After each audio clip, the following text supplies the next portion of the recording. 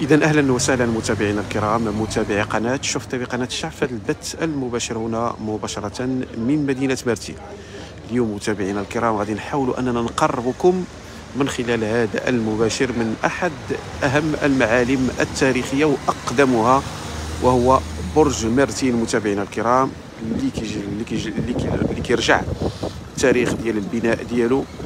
إلى سنة 1720 أي بداية القرن السابع عشر. يعني شوفوا متابعينا الكرام رغم مرور يعني أكثر من ثلاثة ديال القرون على بناء هذا الصرح التاريخي فما زال هذا هذه المعلمة التاريخية متابعينا الكرام محافظة يعني على الجمالية ديالها. وكذلك على الجدران ديالها كيف كتشاهدوا معنا من خلال هذه الصور الاشاره فاسبق له متابعينا الكرام أن هذا البرج أنه يعني شهد عدة إصلاحات وترميمات متابعينا الكرام. غادي نحاولوا أننا نمشيو من الجهة الأخرى باش نشوفوا جماليه هذا البرج كيف كتشاهدوا معنا من خلال هذه الصور متابعينا الكرام. يعني برج اللي هو جميل جدا. هذا هو برج مرتيل. أحد الأبراج العسكرية متابعينا الكرام التي كانت تحرس شاطئ مرتيل وكذلك مدينة مرتيل خلال القرن السابع عشر.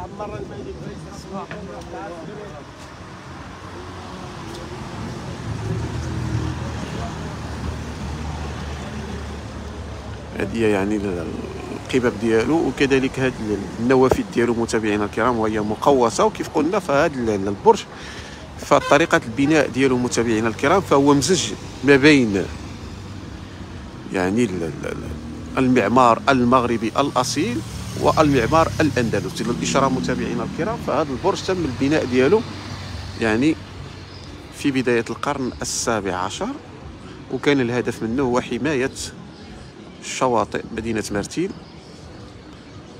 وملي كنهضروا على مدينة مرتين فحنا كذلك كنهضروا على مدينة تطوان لأنه خلال يعني نهاية القرن السابع عشر. فقبل هذا التاريخ بالضبط متابعينا الكرام فتم طرد واحد المجموعة من المسلمين اللي كانوا كيقتنوا في بلاد الأندلس.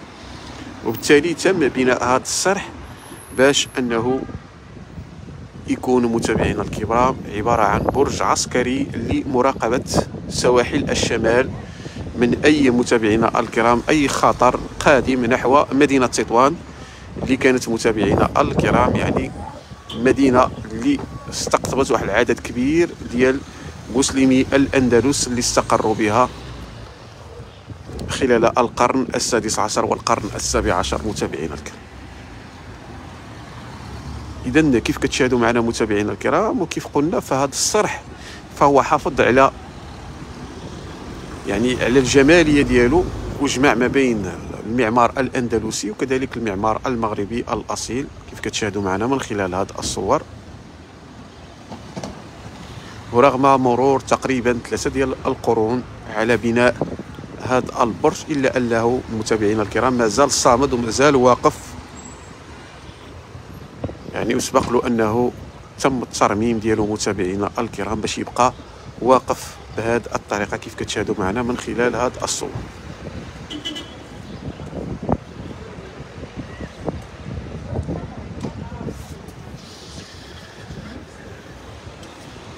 فبناء هذا البرج ديال المرتيل فهو تبنى متابعينا الكرام بالضبط سنة 1720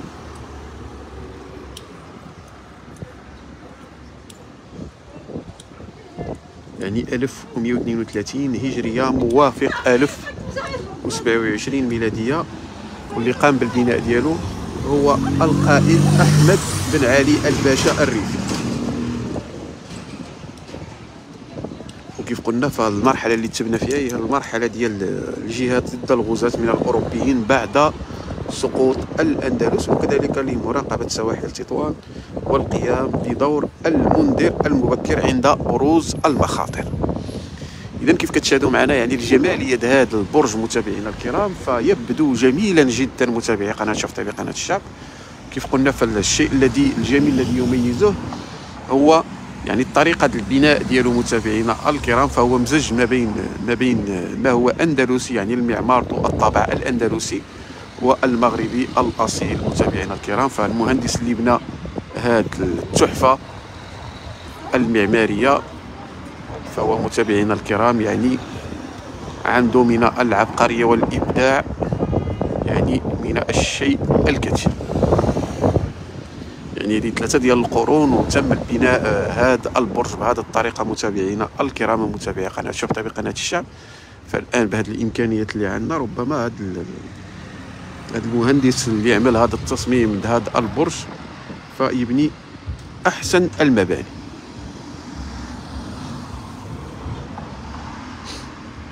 كيف قلنا متابعينا الكرام فهذه الهندسة ديال البرج فهي تختزل أصالة البناء المغربي اللي كيميز ما بينه هو مغربي متفرد وأندلسي بهيج متابعينا الكرام. والإشارة فهذا البرج فهو ما عندوش يعني من حيث العمران ديالو ماشي هو برج عسكري 100% ففيه جمالية وفنية بالأقواس ديالو البارزة وكذلك بالقباب ديالو العالية والممرات الداخلية ديالو المتناسقة. واللي كتجعل الناظر منجذبا إلى عبقرية المهندس والبناء المغربي متابعينا يعني هذا من الخارج متابعينا الكرام وشوف كيف يبدو هذا البرج ديال برج مارتين متابعينا الكرام. غادي نحاول كذلك أنني نمشي من الجهة الأخرى باش كذلك نشوفوا هذا البرج من جميع الجوانب. فابقوا معنا من خلال هذا المباشر. كذلك ما نساوش التعليقات ديالكم بغينا التفاعل ديالكم. شكون سبق له زار مدينة مرتين وخدا شي صورة أمام هذا البرج. شكون سبق له داز من حداه يعني ما عرفوش واش برج أو حتى من خلال هذه المباشرات كيعرفوا بأنه معلمة تاريخية وبأنه برج كيعود التاريخ ديال التأسيس ديالو إلى هذه الفترة. كيف كتشاهدوا معنا هذا هو البرج. من جهة أقرب وغادي نحاول كذلك أنني نبعد متابعينا الكرام باش نشد هذا البرج من هذه الجهة كيف كتشاهدوا معنا من خلال هذه الصور.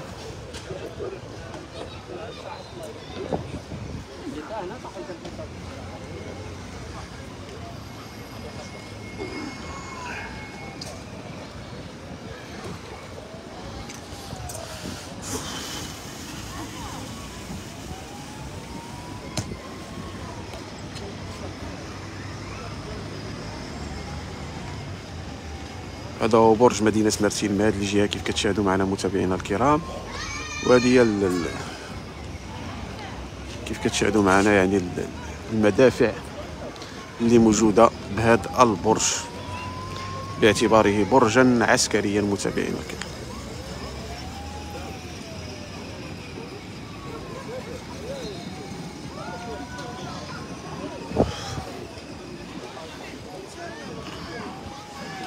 هذا هو البرج من جهة مدخل حي الديزة كيف كتشاهدوا معنا من خلال هذه الصور. فيبدو هذا البرج وهو جميل جدا متابعينا الكرام. متابعي قناة شرطة بقناة الشعب ما نساوش هذه الأضواء اللي هي محيطة به فهي أعطت جمالية خاصة لهذا برج مرسيل كيف كتشاهدوا معنا من خلال هذه الصور. وهذه المدافع التي تحرس هذا البرج من أي خطر. قادم خصوصا وأن هذا البرج فهو متابعينا الكرام يتواجد بالقرب من أحد الأنهار الكبيرة وهو نهر السهلوات مارسي المتابعين الكرام.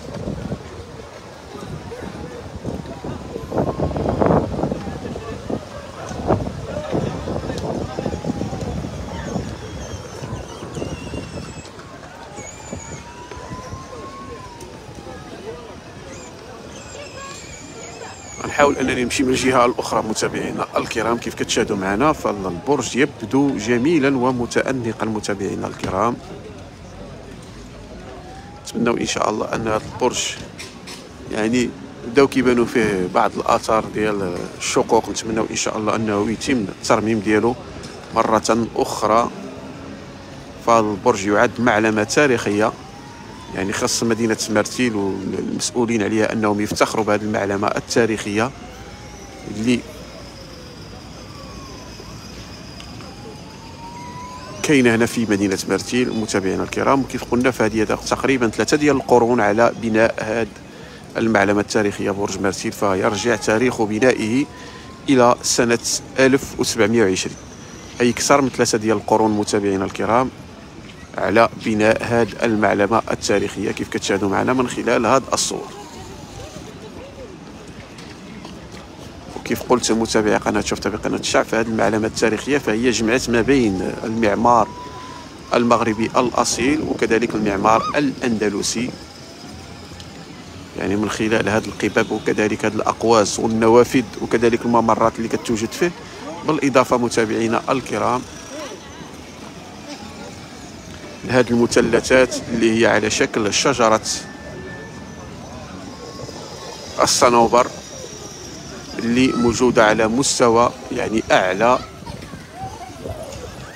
سور هذا البرج وهذا القبب يعني كاين جوج ديال القبات متابعينا الكرام بالإضافة إلى برج مسنن في الجهة الأخرى كيف كتشاهدوا معنا من خلال هذه الصور وكذلك العلو لهذا البرج.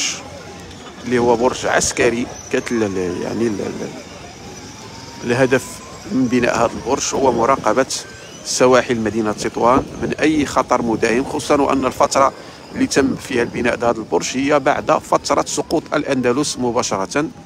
وبالتالي فكان الهدف من بناء هذا البرج هو مراقبة السواحل من الغزاة الأوروبيين اللي كانوا طامعين في شمال المملكة باش أنهم يقوموا بغزوها وبالتالي فكان هذا كيلعب دور المنذر يعني أي سفينة قادمة أو داخلة من نهر السهل واد مرسيل فهما كيقوموا بإعلام متابعينا الكرام. يعني الأبراج الأخرى الموجودة في مدينة تطوان وعلى الخصوص القصبة اللي موجودة على مستوى هضبة جبل درسة وباقي الأبراج الأخرى اللي موجودين على مستوى المدينة العتيقة من خلال إشارات إما بالنار أو بالدخان. اللي كانت عندهم طريقة خاصة باش أنهم كيعلموا يعني الجنود بعضهم بعض من أي خطر مداهم أو عن طريق يعني الحمام الزاجل.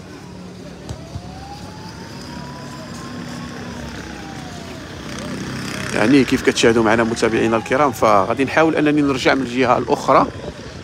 باش كتبان الجمالية لهذا البرج برج مرتين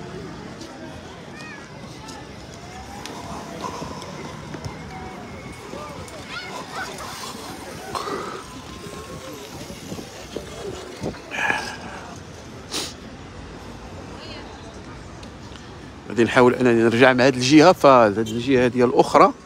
المقابله على مستوى الشارع الرئيسي فهي كتبين الجمالية هذا البرج أكثر متابعينا الكرام. فبقاو معنا طير.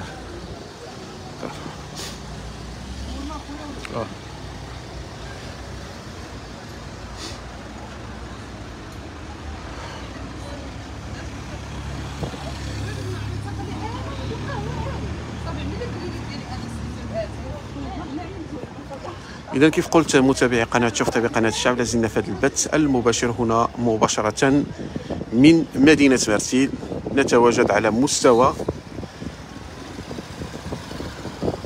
مدخل حي الديزا هنا بمدينة مرسيل وكيف كتشاهدوا معنا فموضوع اليوم هو غادي نحاولوا أننا نقربكم من برج مرسيل هذا أحد الأبراج العسكرية اللي موجودة على مستوى مدينة مرتين واللي كيرجع التاريخ التأسيس ديالو إلى بداية القرن السابع عشر أي بالضبط سنة 1720 واللي قام بالبناء ديالو هو الباشا محمد الريفي.